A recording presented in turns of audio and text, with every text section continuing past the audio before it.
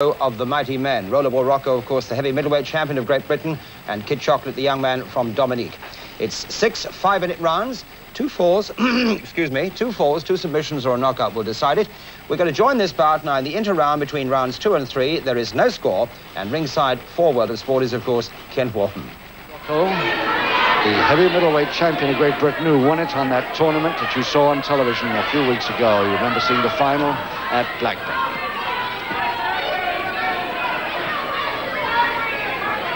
Second out, round three. Four rounds to go as we start round three. No score. Two falls to decide this first one in the tournament.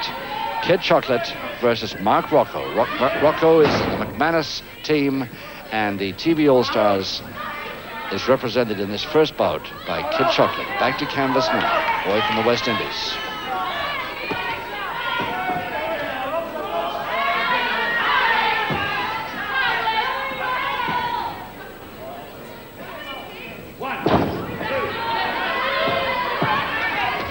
Two or three times so far in the last round, Kid Chocolate has headbutted Rocco, which he, one thing he hasn't liked. It's unsettled him, and he's taken a walk outside the ring to avoid any further treatment.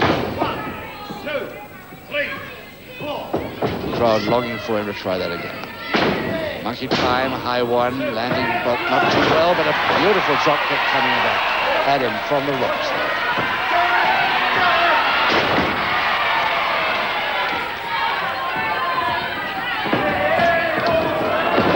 way over, but difficult to see from here exactly how. But back to the forehead. Going for that same spot. Left-hand side of the left eye, folding press, and now Rocco, can he move from that? He can't. The first one for Ch Kid Chocolate in round three.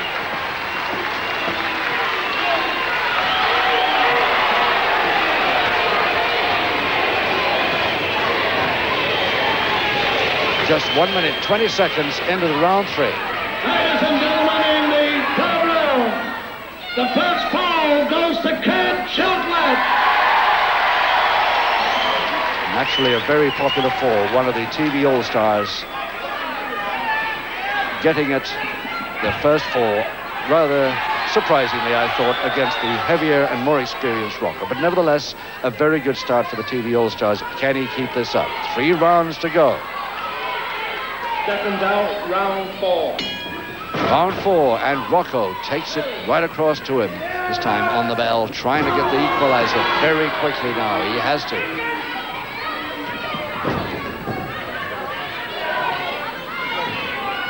He will never hear the end of it if he's beaten by a man a stone lighter than himself, having just got the heavy middleweight belt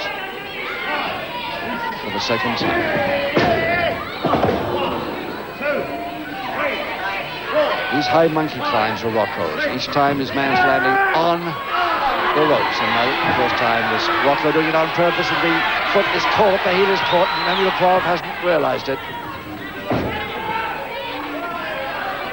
Quite illegal, that last one, but has one public warning against him, of course, Rocco, that is trailing by the one fall scored by Kid Chocolate, his opponent, in round three.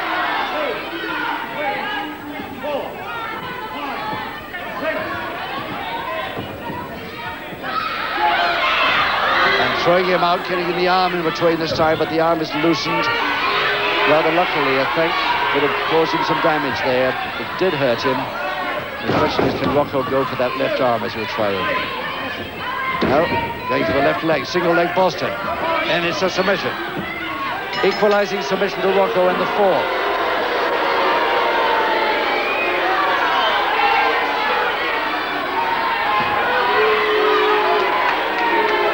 Just about one minute, 20 seconds into round four. And your master of ceremonies, Brian Crabtree, to announce it.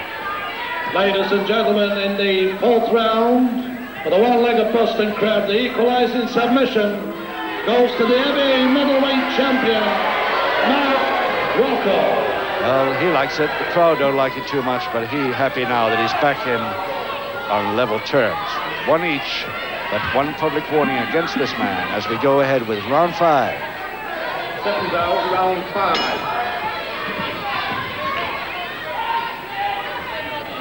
Now, and Kid Chocolate getting more of those butts in. You'll have to be quick. One, two, three. Really quick on the attacking move. Trying it, he's got a couple more.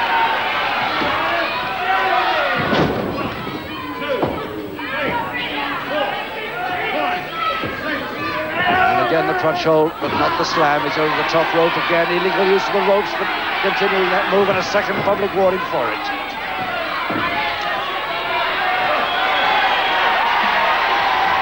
The referee issues the second and final public warning to Mark Rocco. Rocco used to getting public warnings. He doesn't mind two. It's the third that worries him. And as you notice, the stage is just behind the ring there. Kid Chocolate could have caught himself badly on that uh, stage that's, oh, that's getting to be a habit with Rocco, that. He didn't follow it up this time. He didn't dare.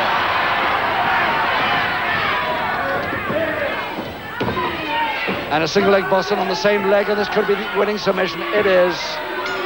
Kid Chocolate forced to release, to ask for release immediately, and he gets it. So Rocco the winner by two submissions to one in round five.